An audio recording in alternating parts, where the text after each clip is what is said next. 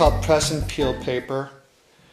And what has been done here is I've taken the circuitry and put it in a package called Eagle Board Layout Editor and printed it with a laser printer to this emulsion paper. Drawings or board layouts.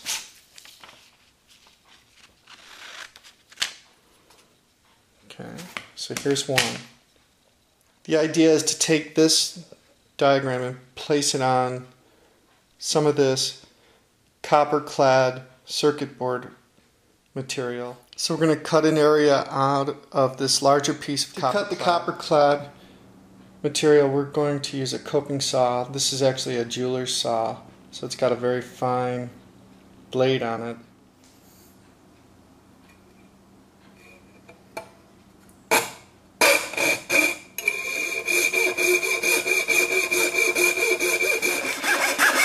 Making some progress. It's really a touchy thing getting your groove going here. Alright.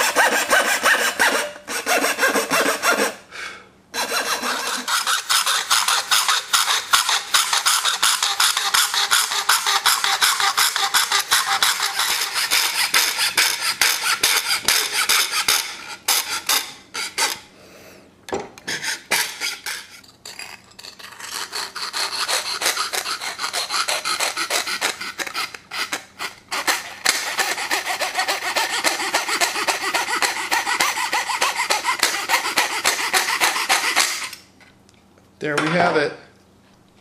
So here's our emulsion paper, the press and peel, and here's our copper clad PCB material. So we want to somehow get this onto here. So let's get this surface cleaned up before we begin. I've got some very fine steel wool here and I'm going to just shine up the surface of this to get rid of any remaining oxidation um, or markings that I might have. So the copper's been cleaned up with the steel wool. We have our board layout on our peel and press material. So the next step is to transfer the image from here onto the board. So to do that, since the material is called peel and press, you're probably not surprised to, to learn that we're going to use an iron to press it onto the copper. And I've got it set at about polyester. The idea is to get the temperature of the iron somewhere between 275 degrees and 325 degrees Fahrenheit. So I'm going to put a piece of paper over the top of the board and the copper clad and then I'm going to press down on it with the iron the paper gives it a little bit less friction.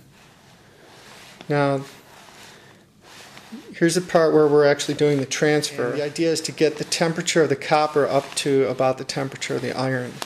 So it'll take a little bit of time to do this.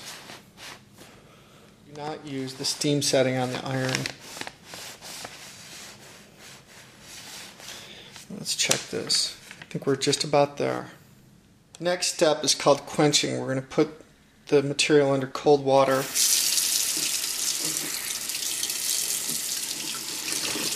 And then we peel it off. And here's the beginning of a PCB. Okay, so the next part we're going to be drilling holes into the material with this Dremel bit. It's a 60, 63 or a 57. It's a very small drill bit.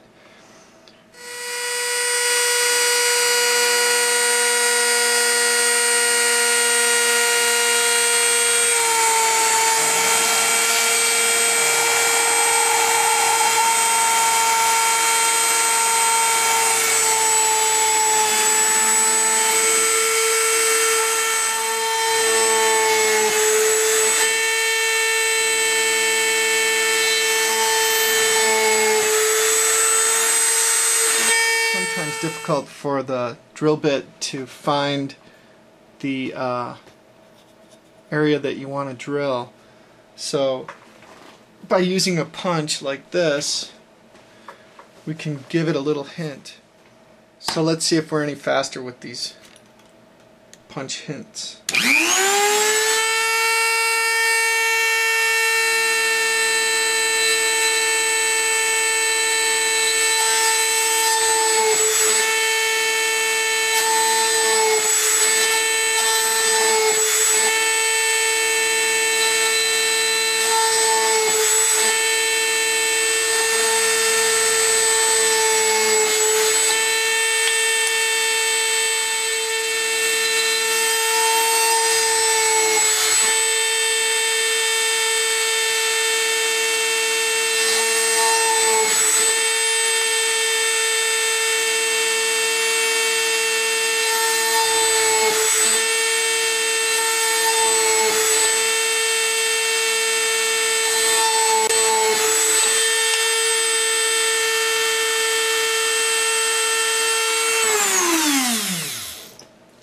Think that's all of them. So the next part is the etching part. This is where we're going to place our copper into a solution of ferric chloride, which is a very corrosive uh, substance.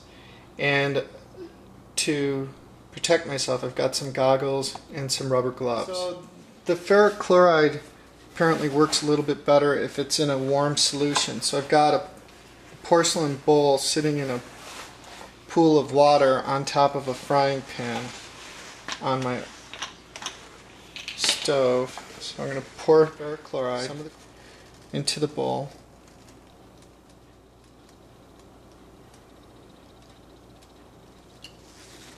So now let's place the PCB into the ferric chloride for etching.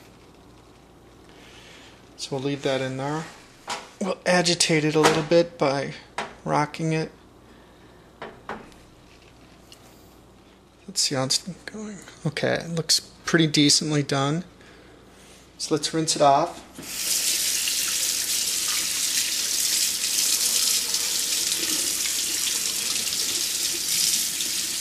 see what we have. Looking pretty good. So now we just have to use some steel wool and get the etchant off the PCB. So let's have a shot at that. So start cleaning this.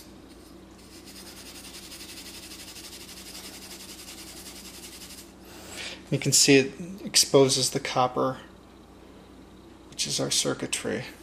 So we have our printed circuit board, and we have some of our components here. And uh, let's see how much easier it will be to install these instead of uh, what we had when we were using this prototype board.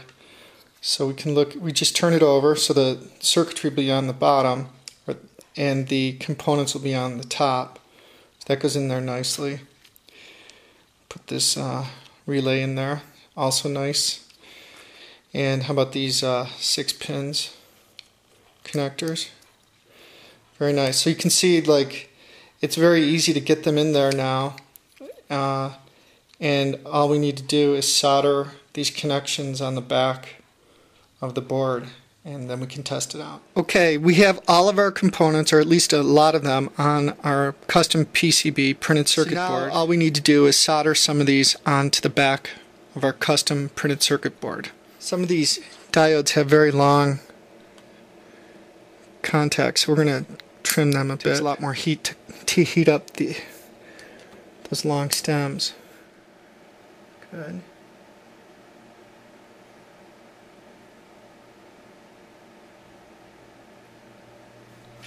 Okay, so take a little bit of time. Great, so we've soldered a number of these pins and we have some trails that need to be modified.